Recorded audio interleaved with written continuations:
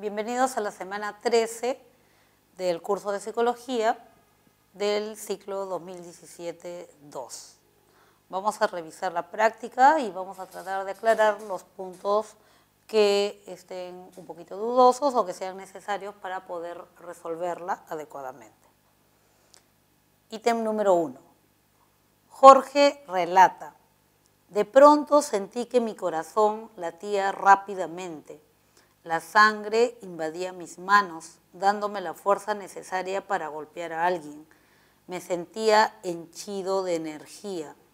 Del relato anterior podemos inferir que A. Jorge está describiendo una gran pasión. B. Se trata de una sensación de miedo. C. El estado de ánimo aludido es la cólera. D. El joven carece de control emocional. E. Las características aluden a una emoción. Bien, por lo relatado vemos que y recordamos que el tema que se ha tratado es el tema referido a lo que son los procesos afectivos y dentro de ellos uno de los procesos afectivos más fuertes, aunque breves, es las emociones, ¿no es cierto? Y que las emociones tienen tres componentes, ¿no? Las emociones lo que provocan es que inmediatamente surjan cambios, alteraciones a nivel fisiológico, como lo que está relatando, ¿no? Su corazón empezó a latir más rápido, la sangre invadió sus manos dándole la fuerza necesaria para golpear a alguien. Se sentía henchido de energía, está hablando de todos los cambios fisiológicos que se producen cuando el sistema nervioso simpático se activa. Y ustedes recordarán que cuando vieron, estudiaron bases fisiológicas de la conducta, vieron que había un sistema nervioso, parte del sistema nervioso autónomo, se denominaba sistema nervioso simpático y era el que nos preparaba para una respuesta de emergencia, como qué es la que se produce cuando uno siente miedo. Entonces todo tu organismo se altera y se prepara para que tú afrontes la emergencia, bien sea enfrentando la situación difícil o huyendo de ella. Y para eso te activa, te llena de energía, te sobrecarga de energía las extremidades, brazos y piernas. Bien, y esto es algo fisiológico y se produce también cuando hay una emoción. los procesos afectivos, recordemos que pueden ser de diferente tipo, ¿no? Entonces, cuando hablamos de procesos afectivos, hablamos de emociones, pero también hablamos de sentimientos y también hablamos de estados de ánimo o también hablamos de pasión. Cuando hablamos de emociones, hablamos de un proceso afectivo que es muy fuerte y por lo tanto nos permite ver mejor sus características o componentes, pero que es a su vez breve, dura poco. Los sentimientos, en cambio, tienen alteraciones o características, reacciones bajas, casi no se notan, pero son de larga duración. Los sentimientos son duraderos y son más racionales. Los estados de ánimo no se conoce bien el origen, pero también son más largos y duraderos. También son largos sin origen determinado o definido. Y la pasión es como si fuera una emoción larga, ¿no? Entonces aquí son, es alterado, pero de larga duración. Bien, en este caso nos está hablando de el corazón latía rápido, la sangre invadía mis manos y me daba la fuerza suficiente como para golpear a alguien. Ya me está hablando o ya está mencionando el enfrentar una situación. Me sentía henchido de energía, me sentía lleno, recargado, sobrecargado de energía. ¿Qué podemos inferir? ¿Jorge está describiendo una pasión? No, porque él sabe exactamente a lo que se está refiriendo. Se trata de una sensación de miedo. El miedo no es una sensación, es una emoción. El estado de ánimo aludido es la cólera. La cólera no es un estado de ánimo, la cólera es una emoción. Entonces tampoco es una respuesta correcta. El joven carece de control emocional, no, no hace referencia a ello en el relato. Las características aluden a una emoción. Esa es la respuesta correcta. Ha descrito exactamente de qué se está tratando o qué alteraciones se están produciendo en la emoción mencionada. La respuesta es la marcada con la letra E. Ítem número 2. María llega a la universidad, entra al aula de clases y ve a su amiga Paula en el fondo del ambiente, con los ojos rojos y llorando. Inmediatamente se estremece y se acerca a consolarla. En relación a esta situación, podemos afirmar que A. María demostró poseer un gran control emocional. Paula no demuestra tener control emocional. C. La emoción de Paula se evidenció por su conducta. D. María es una joven sentimental y subjetiva. E. La aptitud emocional de María es alentadora. Bien, dijo que entró a clases y vio a su amiga en el fondo del ambiente, a la amiga Paula, ojos rojos y llorando. Obviamente nos está hablando de una emoción. La emoción tiene varios síntomas o características. Algunos son fisiológicos, como lo que vimos en el ítem anterior, ¿no? producidas por alteraciones al nivel del sistema nervioso simpático. Otras alteraciones o cambios que se producen cuando hay una emoción son alteraciones conductuales. Las alteraciones conductuales se evidencian en acciones, corre, golpea, grita, etc., y en gestos o expresiones faciales. Y otra de las características o síntomas de una emoción son las alteraciones llamadas subjetivas, y recordemos que lo subjetivo es pensamientos y sentimientos. Bien. Respecto a la situación que hemos leído, vamos a analizar cada alternativa. Dice, María demostró poseer un gran control emocional. No está mencionando nada respecto a cómo controla María las emociones. María fue la que se acercó a ayudar. Paula no demuestra tener control emocional. Otra vez, la reflexión es la misma, no nos habla del control emocional. La emoción de Paula se evidenció por su conducta. Acabamos de mencionar, los gestos son una manifestación de la conducta, eso es correcto. María es una joven sentimental y subjetiva, muy poca evidencia para mencionar ello, ¿no? La aptitud emocional de María es alentadora. No, tampoco podríamos decirlo por una sola acción. La respuesta correcta entonces es la que está marcada con la letra C. Ítem número 3. Rita es una joven que a partir del accidente que tuvo hace un par de meses es incapaz de reconocer y expresar sus emociones. El neurólogo le ha diagnosticado alexitimia, indicándole que ha sufrido una lesión cerebral que afecta el circuito que sistematiza las emociones. El facultativo se está refiriendo al sistema. ¿Cuál es el sistema o la base orgánica o neural que sistematiza o procesa las emociones? Bueno, eso ya lo hemos visto inclusive desde bases fisiológicas de la conducta, se refiere al sistema límbico. En el sistema límbico se encuentra la amígdala cerebral, que es una de las estructuras nerviosas principales en lo que es el procesamiento emocional. Entonces solamente tendríamos que haber recordado que el sistema límbico está vinculado con las emociones o que la amígdala cerebral pertenece al sistema límbico que está vinculado con las emociones. La respuesta correcta es la que está marcada con la letra B. Ítem 4. Matías ha aprendido a darse ánimo. Cuando tiene que afrontar una situación difícil, se dice a sí mismo, esto no es debido a muerte, voy a hacer mi mejor intento y eso es lo máximo que puedo dar. Así que debo estar complacido.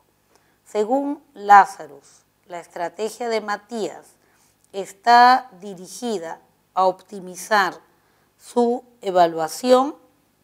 A ver, recordemos qué cosa dice Lazarus respecto a lo que son las emociones. Él dice que una emoción se produce cuando el sujeto realiza una doble evaluación. Entonces dice, cuando una situación es peligrosa, ¿no? El sujeto realiza una doble evaluación, una evaluación dual, dice, ¿no? Una doble evaluación. Va a evaluar primero lo que es la situación misma. Evalúa la situación y luego que evaluó la situación, situación peligrosa. Entonces hace esa evaluación, evaluación peligrosa. Segunda evaluación, ¿puedo o no puedo afrontarlo? Entonces voy a evaluar mis recursos de afrontamiento. Entonces yo digo, si puedo afrontarla, ya no me da miedo. No puedo afrontarlo, entonces sí me da miedo. La primera evaluación se denomina evaluación primaria y la segunda, evaluación secundaria. Y ahí recién sale la emoción. Bien, esto es lo que dice Lázaro respecto a cómo es que experimentamos la emoción y todo parte de esa evaluación doble y esa evaluación doble está referida a lo que es pensamiento, pues, y por eso es una teoría cognitiva. Bien, Matías dice, tiene que afrontar una situación difícil, él se dice a sí mismo, esto no es debido a muerte, voy a hacer mi mejor intento, eso es lo máximo que puedo dar, así que debo estar complacido. Lo que está haciendo es reforzando lo que son sus recursos de afrontamiento. Eso es todo lo que tengo, es todo lo que puedo dar, ¿por qué me voy a preocupar? Entonces está apuntando a lo que es evaluación secundaria. Y la respuesta correcta es la marcada con la letra B. Ítem número 5. ¿Qué enunciados están en relación a las emociones? 1. Son una valoración cognitiva. Ah, las emociones no son valoración cognitiva. 2. Tienen una causa difusa las emociones no, el estado de ánimo sí. Tres, son de corta duración y alta intensidad. Eso es correcto. Entonces la respuesta correcta sería la marcada con la letra A, que dice solo la alternativa 3 es la correcta. Ítem 6. Según el psicólogo Stanley Chaster, Stanley Chaster es otro de los psicólogos igual que Lazarus, que nos brinda una teoría sobre una teoría cognitiva sobre las emociones. Y también nos habla de una evaluación dual, una doble evaluación. Bien, según el psicólogo Stanley Chaster, la evaluación cognitiva de la experiencia emocional implica ponerle nombre a la emoción. Por lo tanto, si sabemos que sentimos miedo, es porque hemos evaluado la amenaza de la situación y nuestra... Ya, ¿qué cosa dice Stanley Chaster? Stanley Chaster lo que dice es, sí, cierto, mi pensamiento es evaluativo y evalúo dos cosas.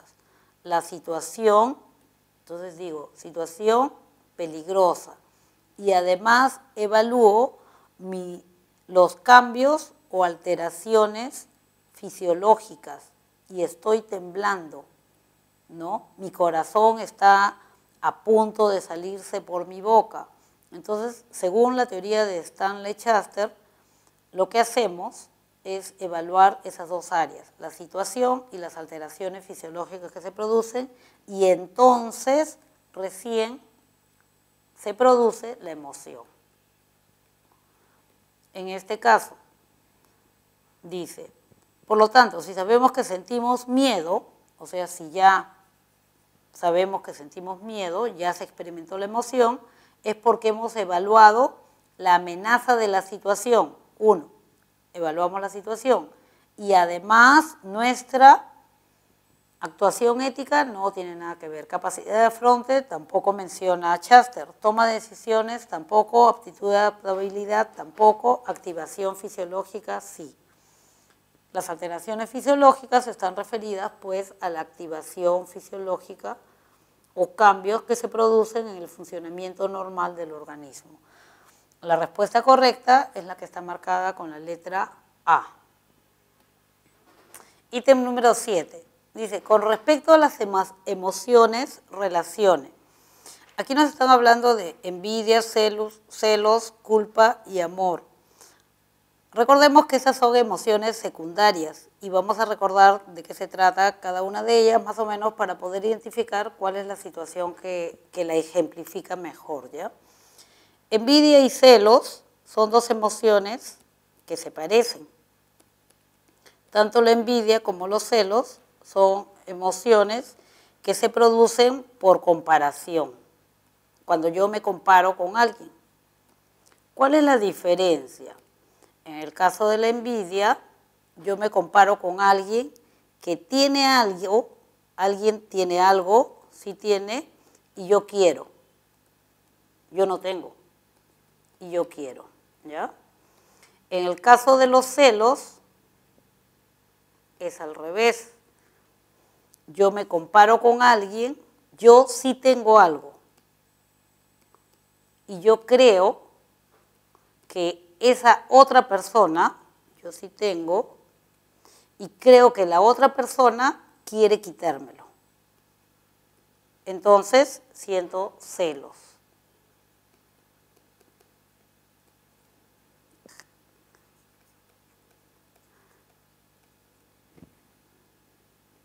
Vamos a ver los casos, ¿ya?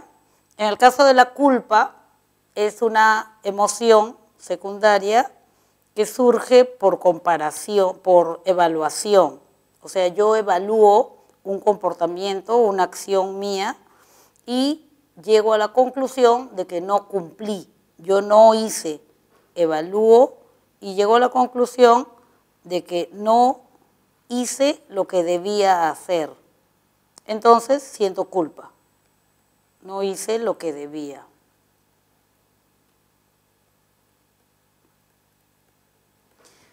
Bien, y en el caso del amor es una emoción también secundaria que surge cuando yo experimento preocupación o interés de que la otra persona se sienta bienestar, experimente bienestar. Vamos a revisar ahora con, estos, con estas pautas los ejemplos que se han dado. Envidia, dice, ¿no? El ejemplo dice, no, debemos quitar, no debimos quitarle la pelota, era el juguete del muchacho. Aquí está haciendo una evaluación de su conducta. No, no debimos quitarle la pelota, era de él. Hicimos lo que no debía. El muchacho está experimentando culpa. Entonces, esta primera, este primer ejemplo corresponde a culpa. En el segundo caso dice, te tengo mucho cariño, le está expresando una emoción, un deseo de hacerle bien, indudablemente es un caso de amor. En la tercera dice, ¿cómo deseo tener el carro que tiene Perla? Desea algo que no tiene. En ese caso hablamos de envidia, o por lo menos se asemeja más a ella. Y en el último caso dice, ¿por qué todos los días llegas tarde? No es la primera vez y estamos suponiendo que son las palabras de una esposa que está reclamando. Ella probablemente está suponiendo algo, algo como que alguien lo está entreteniendo, se lo quieren quitar. Y en ese caso hablaríamos de celos. Las relaciones entonces estarían dadas de la siguiente manera. La envidia está relacionada con la letra C, 1C, Celos estaría relacionada con D, sería 2D. Culpa está relacionado con la primera, con la A, y sería 3 con A. Y amor con B, te tengo mucho cariño. Y la respuesta correcta sería la que está marcada con la letra A, donde las relaciones se han hecho adecuadamente. A ver, ítem 8. A nivel neurofisiológico, la evaluación cognitiva de las emociones implica una comunicación entre el, ya, ha dicho a nivel neurofisiológico, o sea, qué estructuras fisiológicas, neurales, se comunican cuando uno evalúa una emoción. Hace un momento vimos que las emociones estaban relacionadas con la amígdala cerebral y que la amígdala cerebral era parte del sistema límbico. Entonces, definitivamente el sistema límbico es una de las estructuras neurales que está implicada. Y dice, evaluación cognitiva. La evaluación cognitiva es un pensamiento. Pensamiento, así como la mayoría de las actividades llamadas superiores, inteligencia, etcétera, están relacionadas con el córtex prefrontal, área prefrontal del lóbulo frontal. Entonces, la relación que se está produciendo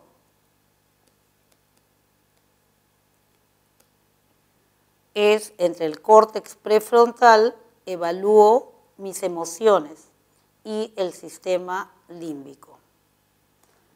Vamos a buscar, la A dice córtex prefrontal e hipocampo, no. Sistema límbico y formación reticular, no. Formación reticular queda en la protuberancia. C, córtex prefrontal y sistema límbico, sí es justamente la relación que acabamos de encontrar y está en la letra C. Vamos a revisar las otras. Hipocampo y córtex parietal, no, lo parietal tiene que ver con lo sensorial.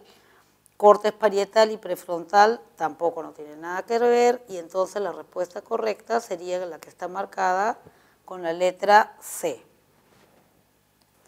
Ítem 9. Dice, en una relación de pareja, la autorregulación emocional mediante la aptitud emocional de confiabilidad, actuar éticamente, evitaría, bueno, nos está hablando de autorregular, o sea, hacerlo de manera personal, regular las emociones, entenderlas. ¿Qué cosa evitaría? Bueno, incrementaría la confiabilidad y por lo tanto evitaría la desconfianza y evitaría también lo que acabamos de ver, que son los celos, ¿no? Ese, ese pensamiento, esa idea de que lo que tengo me lo quitan. Y marcaríamos la respuesta que está señalada con la letra D. Ya, a ver, ítem 10. Según Daniel Goleman, Daniel Goleman es uno de los psicólogos investigador de lo que es inteligencia emocional. Entonces él nos dice que la inteligencia emocional se consigue cuando tú logras controlar tus emociones. Y esto significa, cuando hablamos de control emocional, no hablamos de represión ni reprimir emociones. Cuando hablamos de control emocional, nos estamos refiriendo a conocer las emociones, identificar tus emociones, esto es no confundirlas, identificar tus emociones, reconocerlas, apenas aparecen cuando están en un, en un nivel o intensidad muy baja, reconocerlas y aprender a expresarlas adecuadamente, expresarlas en forma adecuada, ¿no? Eh, a eso le llama él fundamentalmente lo que es control emocional. Y tiene otros niveles que ya tienen que ver con lo que es la relación interpersonal. Bien, la esencia de la inteligencia emocional, dice, es la autorregulación y autoconocimiento emocional. Por lo tanto, si una persona reconoce que es celoso, reconoce su emoción, la, identifica, entonces debe entrenar la aptitud emocional denominada, a ver, aquí, bueno, Goleman habla de varias aptitudes emocionales que son importantes desarrollar. Habla de la adaptabilidad, refiriéndose con ella a lo que es flexibilidad, o sea, no tener una forma rígida de reaccionar siempre, innovación, que se refiere a lo que es aceptar diferentes o crear diferentes formas de reaccionar, eh, autodominio, que se refiere justamente a aprender a expresar las emociones de manera adecuada, y escrupulosidad, que se refiere a ser honesto en la aceptación emocional y confiabilidad a el reconocimiento o identificación de la misma sin estar cambiando o confundiéndola con otra. Entonces, bien, él dice, si una persona reconoce que es celoso, debe entrenar la aptitud emocional denominada, si ya reconoció la emoción, debería seguir el siguiente paso o ejecutar el siguiente paso, que es aprender a expresarlo adecuadamente. Y eso implica lo que acabamos de denominar como autodominio. La respuesta correcta sería la marcada con B. Bien, jóvenes, espero haberlos ayudado a consolidar mejor el conocimiento de esta parte de la psicología. Hasta pronto.